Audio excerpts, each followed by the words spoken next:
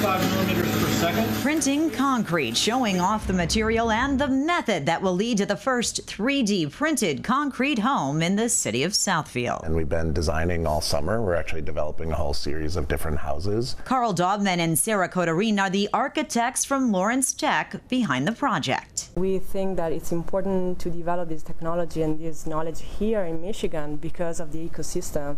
There's so much capacity for manufacturing.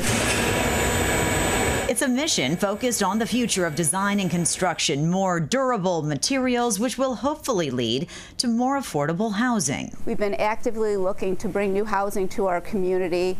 As you know, the city, like the rest of the country, is short of affordable housing and housing in general. Rochelle Freeman is the Business and Economic Development Director for the City of Southfield. Fresh new housing units always bring new families, and that's what we're looking for.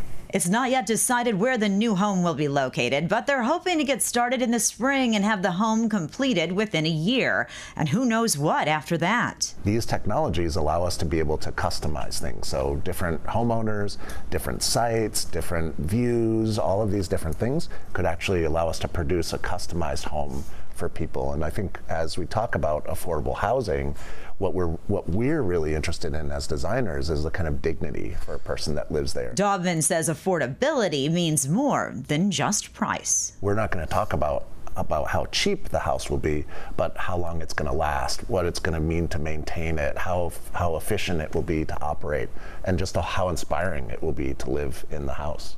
Interested in learning more about this whole 3D printing process? Well, this will be on display through the end of the month. It is Detroit's Month of Design. You can visit 1001 Woodward to check it all out. In Detroit, I'm Amy Lange, Fox 2 News.